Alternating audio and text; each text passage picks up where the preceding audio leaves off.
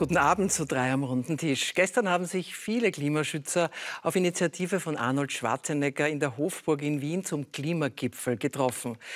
Doch wer kann das Klima wirklich noch retten? Hagelunwetter bei uns, ein Tornado in Tschechien und 50 Grad Celsius diese Woche in Kanada. Wie geht der Weg weiter zwischen Kollaps und Zuversicht? Meine Gäste heute für Sie sind Helga Kromp-Kolb, Klimaforscherin und der Aufsichtsratsvorsitzende von Infineon Deutschland und Aufsichtsrat der Föstalpine, Wolfgang Eder. Für Sie beide ist jetzt die Arena, drei am runden Tisch, eröffnet. Ich freue mich, wenn Sie vor allem miteinander diskutieren. Als erstes Thema interessiert äh, mich, äh, was fahren Sie denn eigentlich äh, für Autos oder haben Sie gar kein Auto mehr? Äh, Frau Kromp-Kolb, äh, was ist, mit welchem Auto fahren Sie, wenn Sie mit dem Auto fahren? Jetzt muss ich direkt nachdenken. Ein alter Skoda. Aber er fährt wenig. Er steht hauptsächlich und er ist übernommen von einem Familienmitglied, äh, das sich äh, was Neueres angeschafft hat. Und äh, das ist halt jetzt unser Transportmittel. Weniger für Personen als eher für Dinge, die man halt transportieren muss. Ich fahre einen Hybrid aus dem Reich von VW und genieße es eigentlich. geht so 35 Kilometer in etwa elektrisch. Das reicht also für die normalen Touren, die man während des Tages macht. Äh, und äh, beginne mich daran zu gewöhnen, elektrisch zu fahren damit. Aber zeigt das nicht, die Welt steht tatsächlich auf den Kopf, was das Klima betrifft? Die Klimaforscherin fährt einen alten Diesel oder Benziner, der Industriemanager und Aufsichtsrat äh, von Weltkonzernen fährt elektrisch. Ja, aber so, wenn Sie sagen, in der Stadt oder was man im Laufe des Tages macht, das mache ich halt mit dem Fahrrad. Und daher steht das Auto auch. Was in Wien auch, das muss man dazu sagen, leicht ist, weil es einen öffentlichen Verkehr gibt in Wien, der wirklich äh, eigentlich vollkommen ausreichend ist äh, und daher man eigentlich in der Stadt kein Auto braucht. Ich muss das dazu sagen, weil einfach so viele Menschen irgendwo am Land sind, wo sie keine Möglichkeit haben, aufs Auto vollständig zu verzichten. Ja, äh, ich bin dabei. Äh, meine Frau und ich, wir haben uns ein E-Bike gekauft vor kurzem und äh, wir sind auch dabei, zumindest teilweise umzusatteln, äh, wenn die Witterungsbedingungen passen, äh, wenn es verkehrsmäßig passt. Aber es ist schon richtig, Wien hat eigentlich sehr gute Voraussetzungen äh, für Radfahrer. Und äh, ich meine, ich komme aus Linz, bekannt, glaube ich. Äh, da sind die Dinge auch äh, am besser werden. Äh, aber natürlich geht es da sehr stark auch darum, halt in die Umgebung rauszufahren, die Landschaft zu genießen. Aber äh, ich habe schon vor, auch äh, beruflich das Fahrrad zu verwenden. Wie gesagt, jetzt nicht unter allen Bedingungen. Gut, ja. der alte Benziner oder Diesel, Diesel. der Hybridmotor, äh, wenn wir das jetzt umlegen, wir haben es, ich habe es schon angesprochen bei der Begrüßung, ähm, großer Klimagipfel gestern. Sie sagen heute im Kurier Frau Kromkolb, der Klimawandel schreitet fort. Wir werden äh, auch so hohe Temperaturen bald haben wie in Kanada.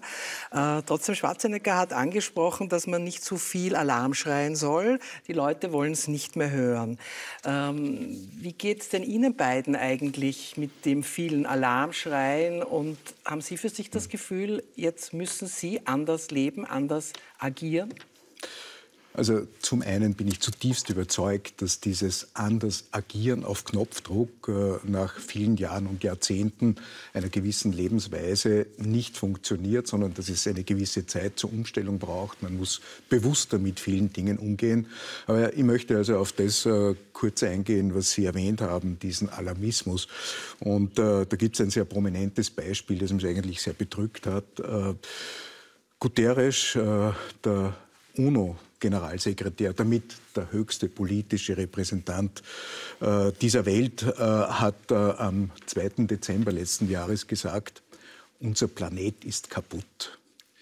Ich finde also diese Art von Umgang mit dem Thema äh, verfehlt, um das sehr vornehm auszudrücken. Einfach deswegen, weil stellen Sie sich vor, äh, Sie sind in einem Unternehmen verantwortlich, Sie sind Geschäftsführer, Sie sind Vorstand, stellen sich vor Ihre Mitarbeiterinnen und Mitarbeiter und sagen, unser Unternehmen ist kaputt. Wie reagieren die darauf? Äh, was passiert? Und insofern bin ich also unter dem Stichwort Klimavernunft für eine Vorgangsweise, die konsequent das Problem angeht, die konsequent aber äh, daran glaubt, dass wir das Problem lösen können. Äh, weil es gute Gründe gibt, daran zu glauben. Nur wenn wir von vornherein sagen, das ist ein unlösbares Problem, ja, woher nehmen wir dann die notwendige Unterstützung? Aber das sagt, ja, das sagt ja die Wissenschaft nicht. Im Gegenteil, die Wissenschaft sagt ja, es ist lösbar, aber nur, wenn wir gleich handeln. Äh, und äh, um das auch noch vielleicht richtig zu stellen, meine Aussage war, dass die 50 Grad, die jetzt in Kanada sind, bei uns nicht unmöglich sind. Ich habe nicht gesagt, dass sie in den nächsten Jahren kommen. Ich glaube, es ist aber ganz wichtig, dass die Wissenschaft einfach auch darauf hinweist, wohin steuern wir. Und das ist nun einmal nicht erfreulich. Äh, aber es ist, darf eben nicht dabei bleiben, sondern man muss sagen, wohin steuern wir.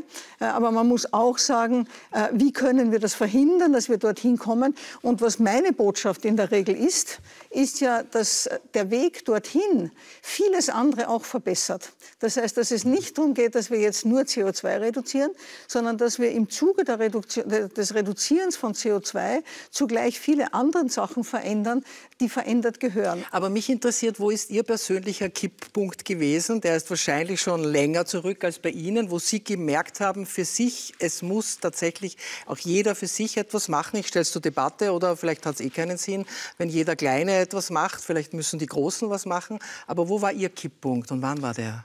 Also ich kann, das nicht, ich kann das nicht festmachen. Also die Tatsache, dass man sich um die Umwelt kümmern muss und äh, zuerst halt Luftreinhaltung und dann äh, Atom und dann Klima, das ist so eins ins andere übergegangen. Also einen Kipppunkt in dem Sinn hat es nicht gegeben.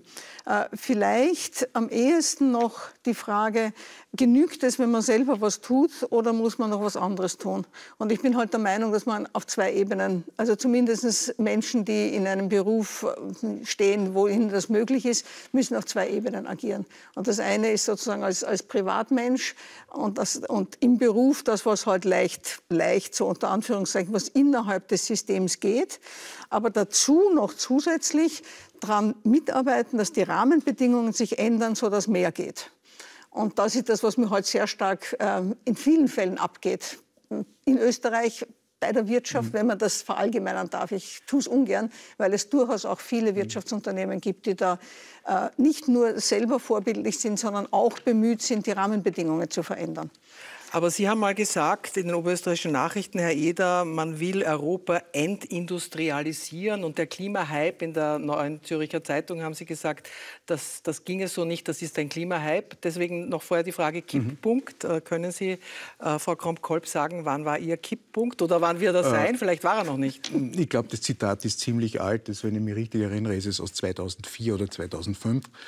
Ähm, und äh, mein Gott, Kipppunkt. Äh, schauen Sie, wo habe ich zum ersten Mal begriffen, äh, was Umwelt äh, und äh, äh, Schutz der Umwelt bedeutet? Geht sehr weit zurück.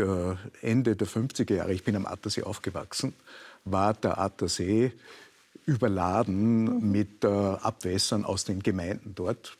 Und äh, im Sommer hat der schöne See, vor allem wenn es heiß gewesen ist, äh, ein, einen Geruch ausgestrahlt, der einen das Schwimmen vermiesen konnte. Und dann kam die Idee mit dieser Ringkanalisation. Und ich habe mir damals als Kind gedacht, das kann ja nie funktionieren, so etwas Riesiges da um den großen See. Hat relativ schnell für österreichische Verhältnisse in den 60er Jahren funktioniert. Und äh, da habe ich die erste Lehre für mich daraus gezogen. Die Dinge sind, wenn man will, sehr rasch sanierbar in Ordnung zu bringen. Denn binnen zwei Jahren war aus diesem See, der halt, äh, umweltmäßig kritisch war, plötzlich ein riesiges Trinkwasserreservoir ja. geworden. Ich bin in meiner Jugend auch viel am Attersee gewesen und mhm. deswegen weiß ich, es gab die Attersee-Krankheit. Das Richtig. war ziemlicher Durchfall. Richtig. Die war dann auf einmal weg. Ja. Also, aber das ist natürlich ein leichterer Fall, weil da hat nicht jeder einzelne Haushalt sein Verhalten verändern müssen, nicht, sondern sozusagen, was nachher passiert ist, ist, ist, ist, zentral geregelt worden. Und das ist jetzt beim Klima eben ein bisschen anders. Also nein, es geht leider nicht so, dass wir irgendwo den großen Hebel umlegen und, dann, äh, und alle anderen können so weiterleben wie bisher, sondern es ist etwas, was tatsächlich jeden betrifft. Sowohl der Klimawandel selber, als auch, als auch die Maßnahmen, die man setzen muss, um dagegen äh, anzukämpfen. Nein, nein, ist, äh, stimme ich Ihnen absolut zu.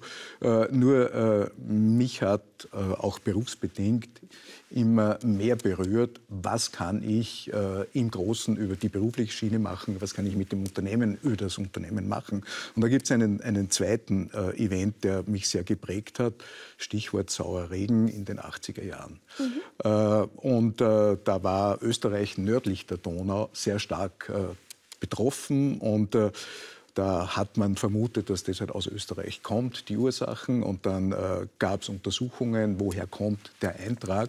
Und das Interessante war, dann ist man draufgekommen, dass 70 Prozent aus der damaligen Tschechoslowakei mit den vorherrschenden Ostwetterlagen gekommen sind. Ja. Und das Interessante war, äh, glücklicher Zufall, äh, da wurde dann äh, mit der Ostöffnung die Situation völlig anders. Warum? Weil in der kommunistischen Zeit dort völlig veraltete Anlagen betrieben wurden, ohne die notwendigen Umwelteinrichtungen, mit entsprechenden negativen Emissionen, die dann nach Österreich gekommen sind. Nach dem Fall des Eisernen Vorhangs hat sich das Problem von selbst gelöst. Ja, von selbst. Naja, äh, da wurden dann diese Anlagen außer Betrieb genommen oder modernisiert.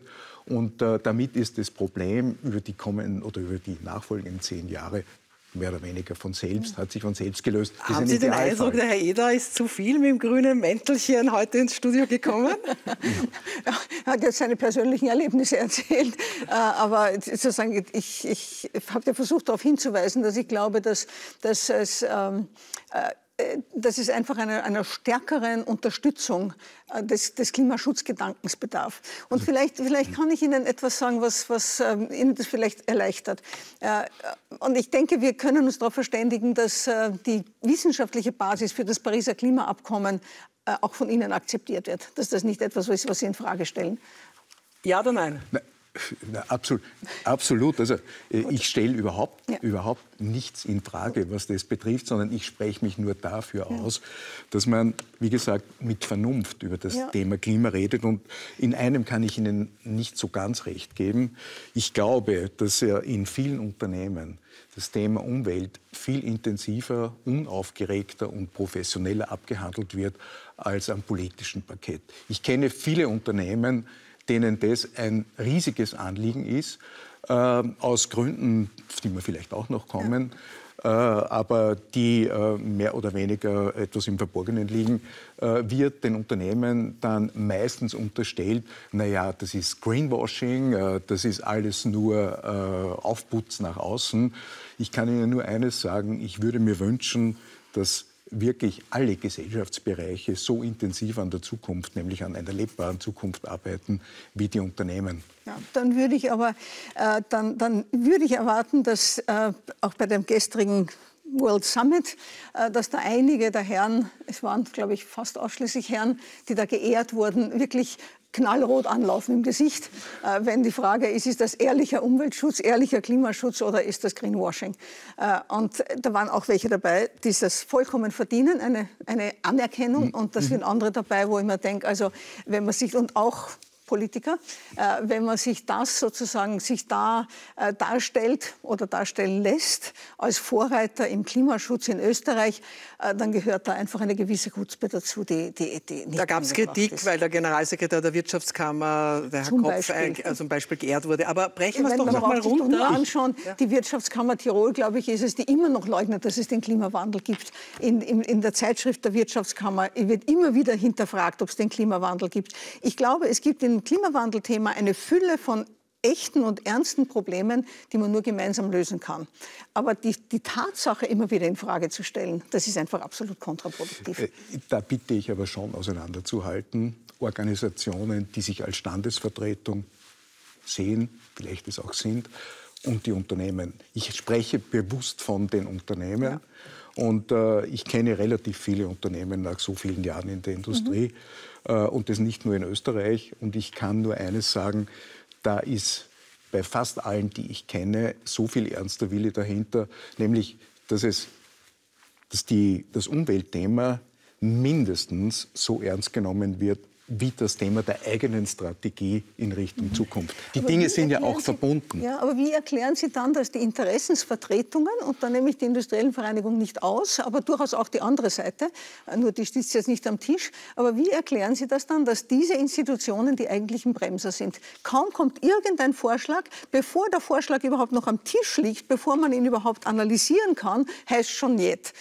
Wie, wie, wie, kommt das, das, zustande? Das können wir, glaube ich, ja hier, also das Na, kann, kann er nicht klären, aber ich frage mich naja, jetzt... Herr Eder hat sich ja beworben um, um, die, um die Leitung der industriellen Vereinigung. Da muss er ja die Institution irgendwie Lassen auch Lassen Sie mich kennen. jetzt was Suffisantes dazu sagen. Dann wäre es vielleicht auch anders. Ja, das würde ich hoffen.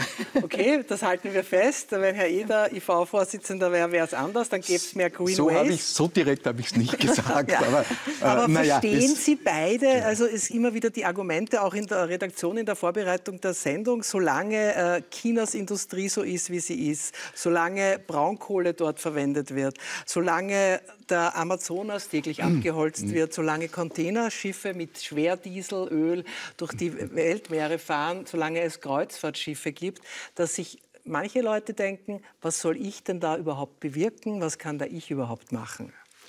Ich, ich meine, das Argument ist irgendwie naheliegend, aber trotzdem falsch. Ähm, es ist, äh, ich meine, wo, für wen fahren die Kreuzfahrtschiffe? Äh, für wen fahren die Container? Für wen wird produziert? Äh, nicht zuletzt für die Österreicher und Österreicherinnen.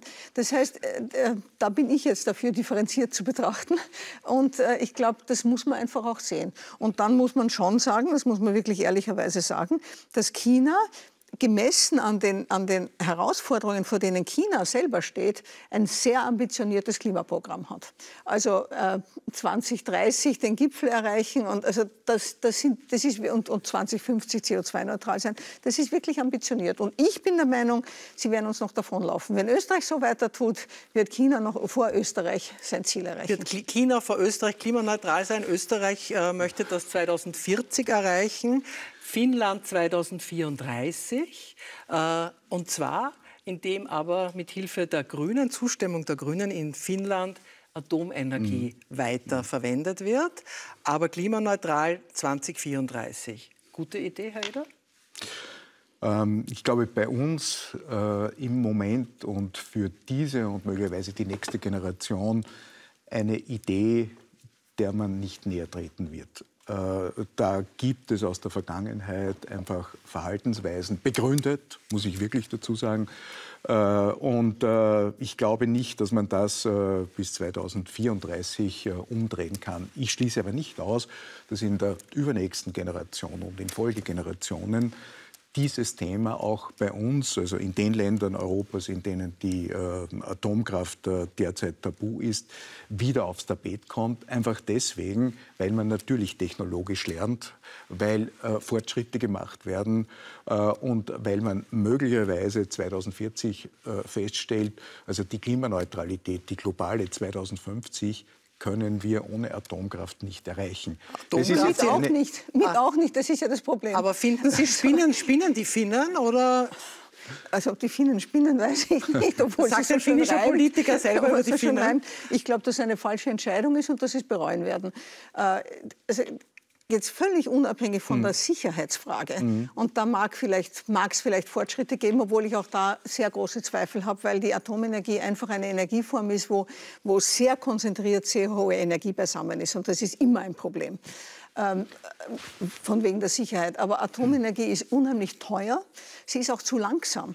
Äh, die durchschnittliche Bauzeit, wenn man die Planungszeit einmal wegrechnet, liegt also im besten Fall bei, bei fünf Jahren. Durchschnittlich ist noch länger. Und wir haben nur mehr zehn Jahre Zeit, um die Treibhausgasemissionen zu reduzieren. Nicht um zu planen, wie wir es denn vielleicht machen werden, sondern zu reduzieren.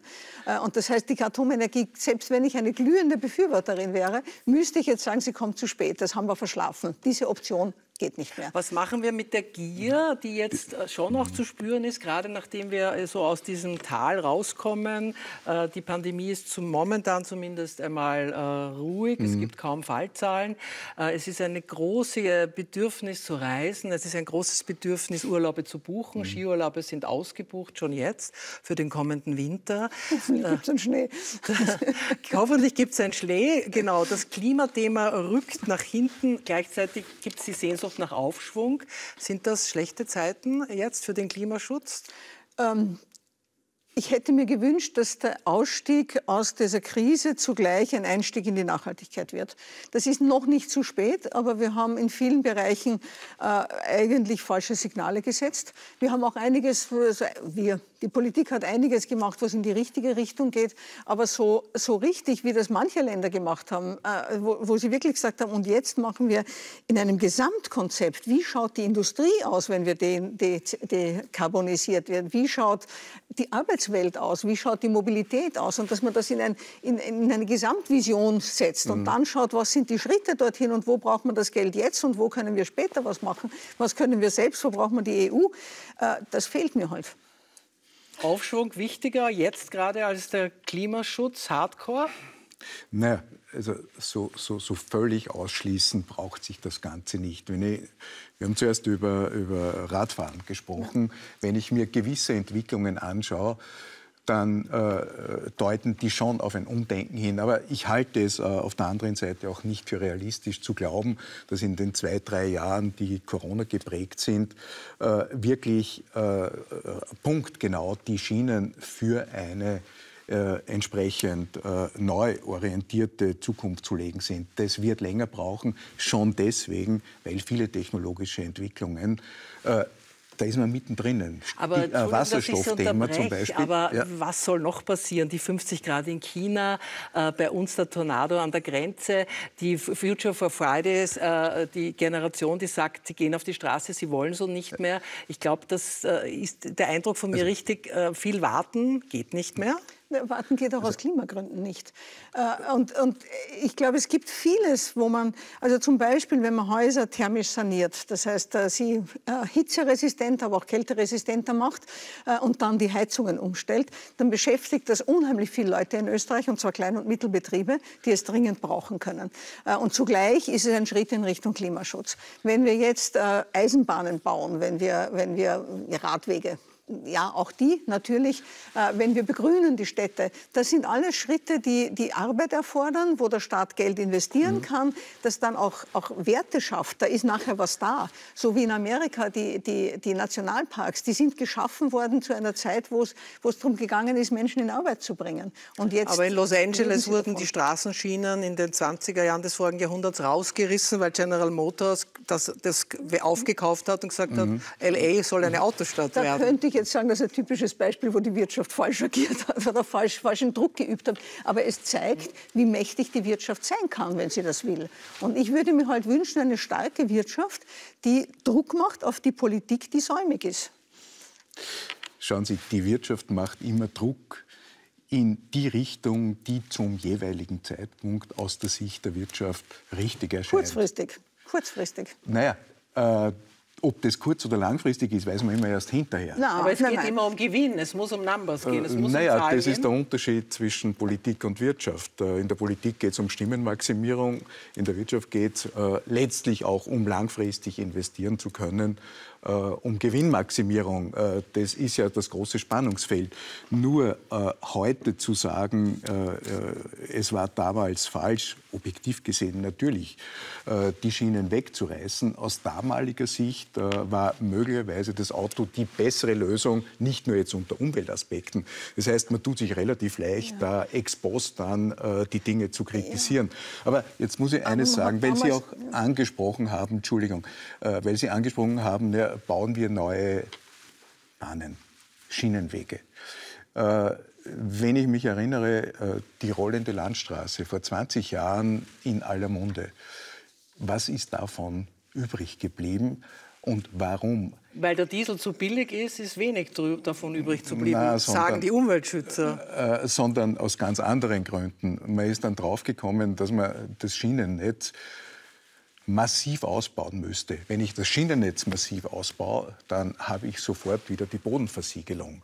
Äh. Wenn ich die, die, die, äh, die Verlade, die Verladeterminals. Die äh, Bodenversiegelung haben wir jetzt durch Straßen. Da sind, ist mir die Bodenversiegelung durch Schienen lieber. Bin ich hundertprozentig äh, bei Ihnen. Äh, nicht bauen eines Lobautunnels, was heute in den Zeitungen herumschwirrt, äh, das Ministerium möchte das neu prüfen, ist eine gute Idee. Ich finde das Neuprüfen von Ideen, die vor 20 Jahren geboren wurden, finde ich gut, weil damals war das Klimathema nicht so auf der Tagesordnung und damals hat es keine Ziele gegeben für die, für die Klimadiskussion. Also das finde ich eine gute Idee. Die, da gibt es aber Zusagen für viele Wohnungen. Da heißt es jetzt, die könnte man da nicht bauen, weil sonst würden alle diese 60.000 Menschen, die dort wohnen sollen, weiter durch die Donaustadt fahren. Das ist ja nicht gesagt. Das ist eine Frage dessen, wie man sie transportiert und wohin sie überhaupt transportiert werden müssen. Äh, ich glaube, wir haben eine Zeit lang eine Politik gehabt, dass sozusagen äh, irgendwo Wohnräume gibt und irgendwo anders gibt es Arbeitsräume und irgendwo dritten gibt es Einkaufsräume. Und das hat sich als Irrtum erwiesen. Das ist eine falsche Politik gewesen. Und da kann man jetzt systematisch diese Politik revidieren. Heißt das, dass Homeoffice auch über die Pandemie hinaus das Thema der Zukunft ist? Was sagen also, Sie beide? Darf ich zuerst zu dem, was Sie jetzt gesagt haben, äh, noch was sagen? Sie haben zuerst eingemahnt, dass wir in den nächsten zwei bis drei Jahren alle Zukunftslösungen haben sollen. Wenn jetzt diese eine Vision, eine Vision, wo wir hingehen, naja, der das, wir uns orientieren können. Aber, aber wissen Sie, die, die Visionen äh, manche Visionen lassen sich realisieren. Bei manchen Visionen kommt man auf halbem Weg drauf, dass es einfach nicht geht. Dann brauche ich Alternativen. Und das ist ja der Grund, warum die Dinge nicht so schnell funktionieren, wie wir, wir es jetzt gerne noch fünf hätten. Minuten ja. und ich würde es gerne und, besser verstehen. Was kann jetzt und gleich getan werden? Kann jeder von Ihnen beiden drei Argumente bringen und unter jetzt und gleich verstehe ich in den kommenden zwei Jahren? Herr Ida. Naja, schauen Sie, äh, das, was etwas zu kurz gekommen ist jetzt in der Diskussion und von Ihnen zuerst angesprochen wurde, nämlich, dass jeder in seinem persönlichen Bereich mehr tun kann oder die meisten mehr tun können als bisher, äh, ist aus meiner Sicht nicht zu bestreiten. Das heißt, hier bewusster entsprechende Schritte zu setzen. Was heißt das nicht mehr im Internet bestellen, kein Fleisch mehr essen? Was würden Sie sich vornehmen? Naja, nicht mehr und kein, diese, diese absoluten Ansagen. Das würde dann heißen, äh, dass es in fünf Jahren oder in zehn Jahren kein Auto mehr gibt, dass wir alle möglicherweise Veganer sind, äh, dass es äh, keine, keine, keine Rinder mehr gibt, weil die auch umweltmäßig kritisch sind. Ich muss ganz ehrlich sagen, mit so generalisierenden Ansagen habe ich große Probleme. Man muss das differenzieren differenzierter sehen und man muss eine Art Generalplanung machen, äh, wo meiner Meinung nach in der Wirtschaft erste Schritte da sind, weil erzwungenermaßen, zu Recht erzwungenermaßen, gibt es die Klimaziele, gibt es 2040, gibt es 2050 und die Vorlaufzeiten in der, in der Industrie sind sehr lange. Da muss ich jetzt wirklich drüber nachdenken, wie ich das erreiche. Ja. Solche Dinge könnte man im privaten, Aber im persönlichen Bereich genauso machen auf kürzere Zeiträume. Aber es gibt ja viele Vorstudien und viele Vorarbeiten. Also eine, eine sozial, sozialökologische Steuerreform äh, könnte man sofort machen. Es gibt die Beispiele aus Schweden, aus anderen Ländern. Es gibt die Studien von österreichischen Wissenschaftlern. Man müsste sich nur entscheiden, mal über den eigenen Schatten okay. zu sprechen. Steuerreform eine, Steuerreform. eine Möglichkeit. Sozialökologische, ja, ganz wesentlich das Soziale und das Ökologische Noch zwei Punkte. Äh, Veganer und Vegetarier kriegen Steuererleichterungen das, so würde ich es auch nicht sehen, sondern ich würde einfach die Anreize dafür erhöhen. Äh, und, und das, das, das, was wir sozusagen schlecht machen, also das billige Fleisch, das darf eben nicht billig sein, sondern das muss teurer werden. Äh, wir, wir, sozusagen das Schlechte muss, muss aufhören. Und ich glaube, da kommt man auch um Verbote nicht herum. Ich nehme das in den, Worten, äh, in den Mund. Natürlich Welche Verbote? Auch, ich brauche zum Beispiel keine Elektrogeräte mehr anbieten mit irgendeiner Energieeffizienz von CD oder so irgendetwas. Warum nicht nur A-Effizienz? Das sind Sachen, die man sehr leicht machen kann. Man kann Tempo reduzieren bei den, bei den Straßen. Das sind alles Sachen, die leicht und sofort gehen. Und das ist noch etwas, was ich schon mitgebe. Natürlich gibt es Bereiche, wo man nicht schnell eine Lösung findet. Aber umso wichtiger ist es, dass man die anderen schnell macht, weil wir haben nur eine bestimmte Menge an CO2, die wir als Österreicher noch in die Atmosphäre bringen dürfen. Und je länger wir sie in all diesen Sachen, wo wir leicht agieren könnten, nicht tun, desto weniger bleibt übrig für die Industrien und die Bereiche, Bereiche, die wirklich die Zeit brauchen. Wir müssen schon zu einer Schlussrunde leider kommen. Mhm. Die Zeit ist heute so schnell vergangen. Äh, Aufsichtsratsvorsitzender Infineon Deutschland und Aufsichtsrat Föstalpine. Äh, zwei Weltunternehmen, zwei an Sie Forderungen. Können Sie hier zwei Wünsche anbringen vielleicht? Ja, also mein, mein Wunsch, mein primärer Wunsch ist wirklich mitwirken daran, dass wir dieses Ziel einhalten können, dass wir uns darauf verständigen, das Ziel ist zu erreichen. Wir dürfen nicht versagen, unserer Jugend wegen. Wie machen wir es? Konstruktive Beiträge von der Wirtschaft, von den Wirtschaftsvertretern. Das wäre mein, mein primäres Anliegen an ich sage nochmal, die Wirtschaft, obwohl ich weiß, dass es viele Unternehmen gibt, die hier schon sehr, sehr vorbildlich sind. Das heißt, Sie werden, sagen jetzt der Frau Professorin zu, dass Sie in der nächsten äh, Möglichkeit Runde doch IV-Chef werden? Das Thema ist für mich abgehackt und äh, es gibt äh, viele andere spannende Aufgaben. Ähm, was ich zusage und äh, wo wir wirklich mittendrin sind, ist, dass die Unternehmen, wo ich Einfluss habe, äh, wirklich massiv und mit großer Überzeugung äh, versuchen, und ich glaube, wir werden das auch schaffen, die Ziele, die wir uns als Europa und Welt gesetzt haben, zu erreichen. Äh, das andere ist, jeder persönlich muss schauen, und das ist eine andere Ebene, aber genauso wichtig, dass er mit sich und der Umwelt für die Zukunft Frieden schafft. Das ist, glaube ich, ein Schlusswort, das wir dem, nehmen können. Dem kann ich mich durchaus anschließen. Wenn die Rahmenbedingungen stimmen, glaube ich, kann, kann, das von jedem gefordert werden. Dann haben wir konstruktiv was zusammengebracht. Die Klimaforscherin kann dem Industrieaufsichtsrat und Manager zumindest in diesem Punkt recht geben. Herzlichen Dank, dass Sie beide hier Danke. bei drei am runden Danke. Tisch waren. Dankeschön. Ja, meine Danke. Damen und Herren, ich bedanke mich sehr auch bei Ihnen für Ihr Interesse. Hier geht es jetzt weiter mit Universum History und den Amazoninnen. Und zwar sehr außergewöhnlichen Frauen in Afrika, die eine weibliche Elitetruppe waren und ihre Freiheit erkämpft und verteidigt haben gegen die französische Kolonialmacht. Es zahlt sich also sehr wenn, aus, wenn Sie dranbleiben. Herzlichen Dank für heute und auf Wiedersehen. Thank you.